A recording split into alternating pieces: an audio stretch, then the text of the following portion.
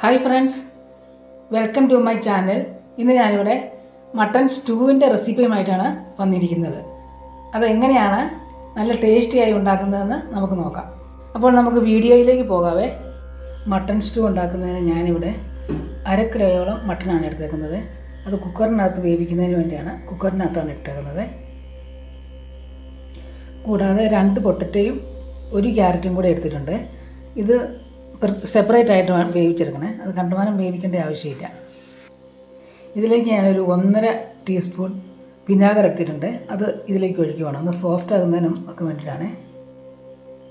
ആവശ്യത്തിനുള്ള ഉപ്പ്. ഇതിലേക്ക് ഞാനൊരു ഒരു പിടുത്തം ഉള്ളി അരിഞ്ഞെടുത്തേക്കുന്നതാണ്. അതും ഇതിനകത്ത് ഇടുവാണ്. സവോള എടുത്താലും ഒരു സവോള എടുത്താലും കുഴപ്പമില്ല. കൂടുതൽ ടേസ്റ്റ് കിട്ടുന്നത് ഉള്ളി ഇടുന്നതാണ്. ഇതിലേക്ക് ഒരു teaspoon home made garam masala ഇടുവാണേ. അതിലും ഗരം മസാല ഇല്ലെങ്കിൽ കറുവപ്പട്ട ഒരു കഷ്ണവും മൂന്നാൽ ഏലക്കായും കറുവപ്പട്ട തക്കോലം ഇതൊക്കെ എടുത്താൽ മതി. ഒരു ടീസ്പൂൺ കുരുമുളക് ചതച്ചതവണേ ഒരു നാല് പച്ചമുളക് കീറി തരുവാണേ ഇഞ്ചി ഒരു കഷ്ണം.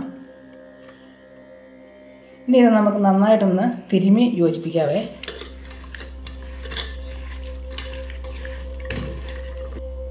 ഇത് മാറിനേറ്റ് ചെയ്യുന്നതിന് വേണ്ടിയിട്ട് ഒരു അഞ്ച് മിനിറ്റ് നേരം നമുക്കിത് മാറ്റി വെക്കാവേ. ഇപ്പോൾ ഇതൊരു അഞ്ച് മിനിറ്റ് ആയിട്ടുണ്ട്. നമുക്കിതിനകത്തേക്ക് ഒരു അര ഗ്ലാസ് വെള്ളം ഒഴിക്കാവേ. അത് അടി പിടിക്കാതിരിക്കുന്നതിനുണ്ട് വെള്ളം ഒഴിക്കേണ്ട കാര്യമില്ല. നമുക്ക് ഇഷ്ടം വെള്ളം ഉള്ളതാണ് ഇറച്ചിക്കത് എന്നാലും അടി പിടിക്കരുതല്ലോ. ഒരു മീഡിയം ഫ്ലെയിമിൽ വേണേ നമ്മളിത് തീയിൽ വെക്കാനായിട്ട്. അപ്പോൾ ഇത് ഇതിന്റെ മട്ടന്റെ സൈസ് അനുസരിച്ചാണ് അതിന്റെ വേവൊക്കെ. അപ്പോൾ അതനുസരിച്ച് നമ്മൾ വിസിലിന്റെ എണ്ണം കൂട്ടുകയോ കുറയ്ക്കുകയോ ചെയ്യാം. ഞാനൊരു കടായി അടുപ്പത്ത് വെച്ചിട്ടുണ്ട്. അതിലേക്ക് നമുക്ക് വെളിച്ചെണ്ണ ഒഴിക്കാവേ. ഇതിലേക്ക് ഇഞ്ചിയും വെളുത്തുള്ളിയും കൂടെ ചെറുതായിട്ട് അരിഞ്ഞിടുവാണ് ആദ്യം നല്ലതായിട്ടൊന്ന് മൂത്ത് വരണേ. അത് നന്നായിട്ടൊന്ന് മൂപ്പിക്കാവേ.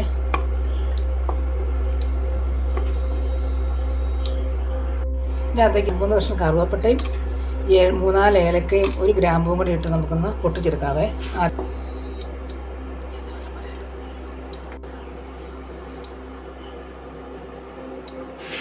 ഇത് കറുവേപ്പട്ടയുണ്ട് ഒരു ഒരു കഷ്ണം ഞാനത് ഒടിച്ചൊടിച്ചിട്ടേക്കുന്നതാണ് ഇതിന് രണ്ട് ഗ്രാമ്പും ഉണ്ട്. ഒരു നാല് അഞ്ച് ഏലക്കായ തൊണ്ട് കളഞ്ഞിട്ടേക്കുന്നതാണ്. പൊട്ടി തുടങ്ങുന്നുണ്ട്.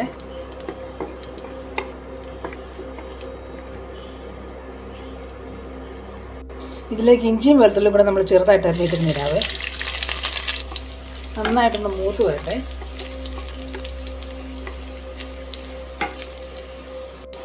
ഞാൻ വെളുത്തുള്ളി നേരത്തെ ചേർത്തിട്ടില്ലായിരുന്നു. അധികം വെളുത്തുള്ളി ഇതിനെ സ്റ്റൂ വെക്കുമ്പോൾ ചേർക്കേണ്ട ആവശ്യമില്ല. പിന്നെ മല്ലിപ്പൊടി മുളക് പൊടി ഒന്നും ചേർക്കുന്നില്ല. നമ്മൾ കൂടുതലായിട്ടും പച്ചമുളക് വെളിച്ചെണ്ണ കുരുമുളക് പൊടി അതിന്റെയൊക്കെയാണ് എരിവ് വരുന്നത്. പച്ചമുളകിന്റെ രുചി പച്ചമുളകിന്റെ എരിവൊക്കെയാണ്. അപ്പോൾ അങ്ങനെയാണ് നമ്മളല്ലാതെ പൊടികൾ അങ്ങനെ വളരെ കുറവാണ് ഇടുന്നത് ഇതിലേക്ക് ഞാൻ ഒരു രണ്ട് സവാള സ്ലൈസ് ചെയ്ത് വെച്ചിട്ടുണ്ടായിരുന്നേ. അതുകൊണ്ട് ഇട്ടിടാവേ.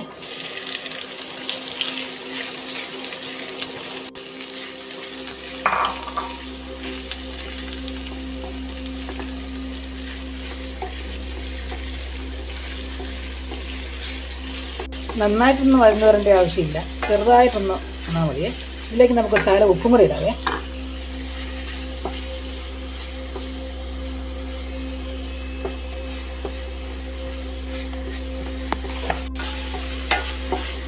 ആ ട്രിക്കൊക്കെ അത് ഞാൻ ഉപ്പൊക്കെ ഇട്ടതായിരുന്നു. അതുപോലെ തന്നെ ക്യാരറ്റിനകത്തും പൊട്ടറ്റോയും കൂടെ ചേർത്ത് വേവിച്ചപ്പോൾ അതിനകത്തും കുറച്ചിട്ട് ഇട്ടു എന്നാലും ഇതിനകത്ത് നമുക്ക് കുറച്ച് കുറേശ്ശേ ഇട്ടാൽ മതി. അവസാനം പാകം ഉപ്പ് കുറവാണെങ്കിൽ മാത്രം കുറച്ചുകൂടി ഇട്ടാൽ മതി. ഇതിലേക്ക് ഒരു നാല് പച്ചമുളക് ഇടുവാണേ. നമ്മുടെ എരിവിനനുസരിച്ച് ഇടാം കേട്ടോ.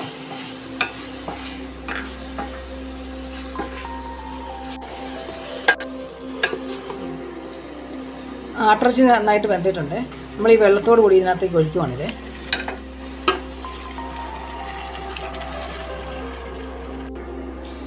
ക്യാരറ്റും പൊട്ടറ്റയും കൂടെ ഞാൻ സെപ്പറേറ്റ് ആയിട്ട് വേവിച്ച് വെച്ചതാണ്.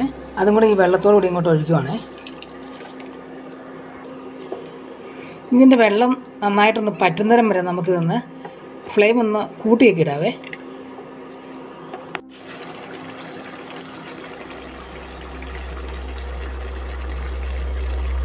ഏറെക്കുറെ പറ്റി വരുന്നുണ്ട് വെള്ളമേ. നന്നായിട്ട് പറ്റിയിട്ട് വേണം നമുക്ക് രണ്ടാം പാൽ ഒഴിക്കാനായിട്ട്. ഇപ്പോൾ ഇതിന്റെ വെള്ളമൊക്കെ പറ്റി വന്നിട്ടുണ്ട്. നമുക്കിതിലേക്ക് രണ്ടാം പാൽ ഒഴിക്കാവേ. ഞാനൊരു മൂന്ന് ഗ്ലാസ്സോളം രണ്ടാം പാൽ എടുത്തിട്ടുണ്ട്. ഇനി നമുക്ക് ഫ്ലെയിമൊക്കെ കുറച്ച് വെച്ചിട്ട് നമുക്കിതിനകത്തേക്ക് ഒഴിക്കാവേ.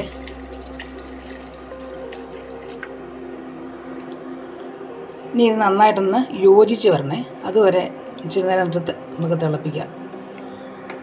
ഇപ്പം നന്നായിട്ട് യോജിച്ച് വന്നിട്ടുണ്ട്. ഇതിപ്പം ഇതിനകത്ത് കൊഴുപ്പ് കുറവാന്ന് തോന്നിക്കഴിഞ്ഞാൽ നമ്മൾ ഇതിനകത്ത് ഇടുന്ന ഉരുളക്കിഴങ്ങ്. ഇതിൽ നിന്ന് രണ്ട് മൂന്നെണ്ണം എടുത്ത് ഒന്ന് അരച്ച് ചേർത്ത് നല്ല കൊഴുപ്പ് കിട്ടും. പക്ഷേ ഇതിന്റെ ആവശ്യമൊന്നുമില്ല. ഇത് നന്നായിട്ടിപ്പം കുറച്ച് നേരം കഴിഞ്ഞ് കഴിയുമ്പോൾ കുറച്ച് നേരം വെക്കുമ്പോൾ നന്നായിട്ട് ഇത് കുറുകി വരും. അത് വീട്ടിലുണ്ടാക്കുമ്പം അങ്ങനെ അതിന്റെ ആവശ്യം തന്നെ ഇല്ല. ഇത് നന്നായിട്ട് കുറുകി വരുന്നുണ്ട്. ക്രിസ്മസിനും ഈസ്റ്ററിനും ഒക്കെ ഇതുപോലെ ഉണ്ടാക്കിയിട്ട് അപ്പം കൂട്ടി ഒരു പിടി അങ്ങ് പിടിച്ചാൽ അടിപൊളിയായിരിക്കും.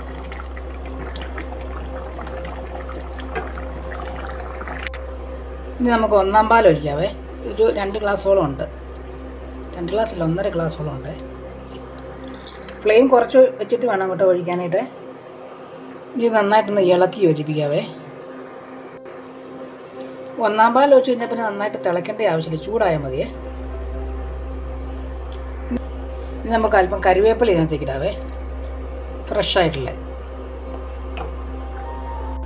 എരിവ് വേണമെങ്കിൽ കുറച്ച് പച്ചമുളകും കൂടി ഇടാവേ.